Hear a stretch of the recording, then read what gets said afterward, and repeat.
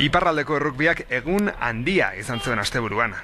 Endaian e, festa handia ospatu zuten herriko taldearen eta Nafarroaren e, artean jokatu zen neorketaren aurretik, jokoan zehar eta baita ondorenean ere.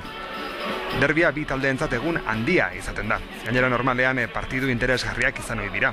Honek zaletu ugari erakartzen ditu zelaira eta jokalarientzat ere bereziak izaten dira neorketa hauek. Endaiak iten du pestat, hor muntatu dute xapitot. Badugu uste dut gure Nafarroatik uh, hirutan hori edo hirutan hori eta hamar uh, badira enzkiteak, hor baskaitea dina dira. Uh, joan den urtean deia holola inazuten izan zen jende. Guk berriz Nafarroan hendaia jiten dela berriz gauza bera iten dugu. Hiru jende biltzen dugu xapitoa inpian. Eta izigarriko besta eder bada, derbi honen uh, itzulian. Biak baigorri eta garrazi, bien artean indugu uh, ekipa bat. Mo ez da iza izan. Badira beti uh, kontradienak eta beste atzo aldezienak, baina bon. Uh, ale indugu, diela bost urte horrek, eta bon, uh, ekarri du bere fruituak. Gioztik izan gira xapeldun, uh, frantziako xapeldun, ekipa lehen bizikoekin. Izan, uh, gaurko partida zaila izanen da ustez, Hendaiak hasteko indu uh, lehen, lehen, uh, lehen matxak, uh, lehen partidak uh, untsa intu, bokalen irazi du. Uh, lau edo bost uh, jokolari uste dut erosi duzten, uh, erosi edo karrazi unat. Bo, horrek erran nahi du, uh, nahi dutela sasoin on batin, uh, voilà, guk, uh, guk uh, beti gure etxeko jokolariekin ari gira, gure gaztekin, eta bon, hori nahi dugu beti atxiki eta entzatuko dugu zerbait iteat, bai. En este club hemos jugado, como lo decía antes, en un alto nivel. Lo que pasa que con el tiempo hemos bajado porque ahora en el mundo del rugby en Francia eh, hay la cosa profesional y claro, lo que nos falta un poco es el dinero para llegar a aspiraciones más altas. Este año veo el equipo bastante bien. Hemos tenido, ten, tenemos un entrenador que se llama Yannick Lamour, que ha jugado profesional en el rugby de Francia en Bayona y él ha podido hacer venir en este club uh, bastante, bastante jugadores que son ya jubilados profesionales pero que nos, nos, lleva bastante cosas buenas en el punto, en el punto rugby. Eh, para nosotros es un día grande porque, claro, Nafarroa viene, viene, viene aquí y son, son gente que, que, que, que, son del interior del País Vasco y nosotros estamos de la cuesta y siempre hay una, una cosa que se alimenta entre este derby, pero de toda manera, la primera de las cosas es la fiesta, la fiesta sobre todo del rugby. Favorito nagusia endaia zen, talde handia izandako baita, naiz eta gaur egun apaldua dagoen. Nafarrak dena ematera aterako zirela ordea argi zegoen, azken urteetan maila polita ari bai dira eskaintzen. Horezko sakea Paulin Adok gazten mailako munduko suflari txapeldunak egin zuen. Eta horrela, eman zitzaion hasieran urketari. Endaiakoek hasieratik baloiaren jabetza eskuratu zuten. Pasina farrek aldiz, defentsa gogorra gauzatuko zutela erakusteko perrest zeuden.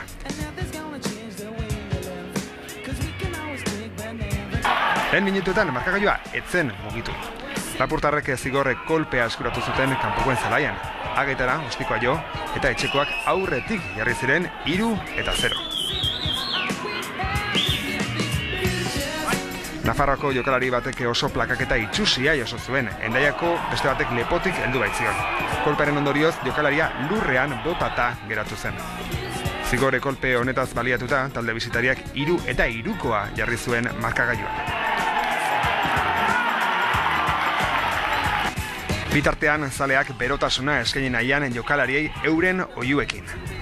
Ondoren, etxeko amabostekoak entxegua lortu zuen uztartze batetik izeterakoan, eta mutilak zortzi eta hiru aurreratu ziren markagailuan.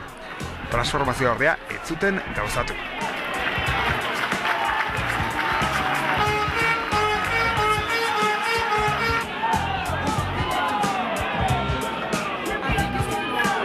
Endaiak beste zigor kolpe bat egin zuen. Epaileak abantaia eman bai, baina jokaldiak gelditu zenean zigor kolpea adirazi zuen behen afarrentzat. Makiletara ostikoa bota eta amabosteko bizitariak markagaioan gerturatzea lortu zuen. Zortzi eta sei, oraindik etxekoak aurretik. Kompletxorik gabe zebiltzan Nafarrak eta endaiakoek uztartze bat ondoratu zuten beste zigor kolpe bat oparituz. Hau ere, makiletara bideratu ondoren, hiru puntu eskuratu zituzten gorriek, makagaioan aurrea hartuz zortzi eta bederatzi. Lehen zatian, etzen gehiagorako astirik egon. Lehen eh, berrogei minutuetan, beraz, zortzi eta bederatzi etxekoak eh, atzetik. Bitaldeek eh, entrenatzailearen aginduak entzun zituzten atxeden aldean. Puntu bakarreko aldeak partidua erabakitzeke uzten baitzuen oraindik.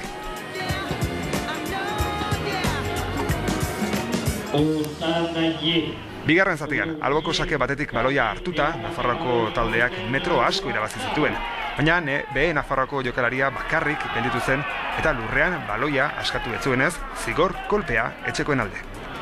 Baloia hagen hartetik bidalita, markagaioan aurrea hartu zuen endaiak, amaika eta bederatzi.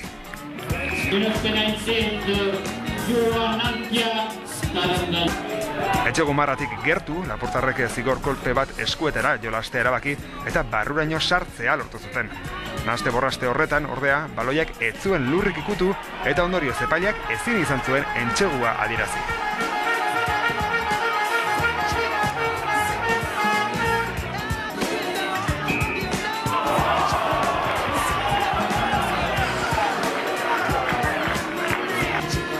Endaiako taldea berriro ere erasoan, Nafarroko talderen entxegu marratik gertu zebilen. Alboko sakea atera eta kostata, baina abiadura hartu zuten aurrelariek. Horen honetan epaia gertu zegoen eta entxegu gunean erori zirenean argi ikusi zuen entxegua. Aurrelariek lan bikaina egin zuten jokaldi honetan. Transformazioarekin emezortzi eta bederatzira aregotu zuen aldea talde zuriak.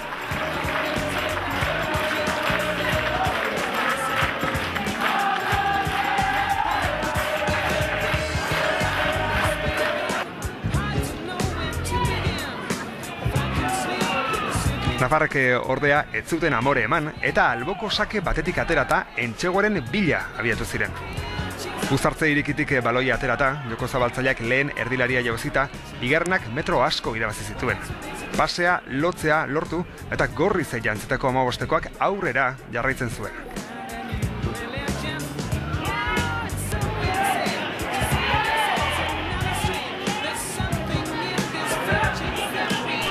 Berriro baloia zabalduta lurretik ostikoz jokatzea erabaki zuten. Baloia endaiak berreskuratu zuen, baina behen afarren presioaren ondorioz azkenean alboko sakea beraientzat. Lapurtarrek baloia aldentzea lortu zuten eta Nafarroak berriz ekin behar izan zion lanari. Atzelariak ostiko luzea jo zuen berriro ere talde zuriaren zelaira sartzeko. Bost minutu eskaz geratzen ziren neorketa amaitzeko eta markagaioan etxekoak nagusi emezortzi eta bederatzi.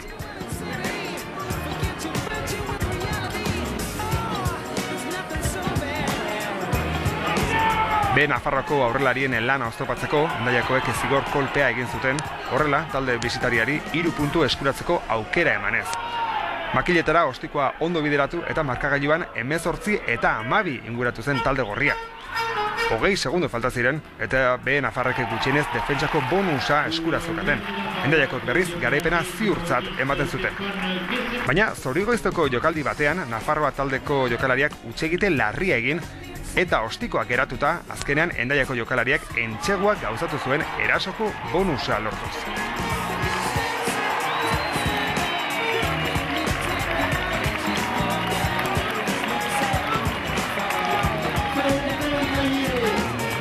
Ben afarra etxiturik geratu zen oso, defentsako bonusak ere ies egin baitzien azken unean. Bere taldekideek kontsolatu zuten jokalari gizajoa.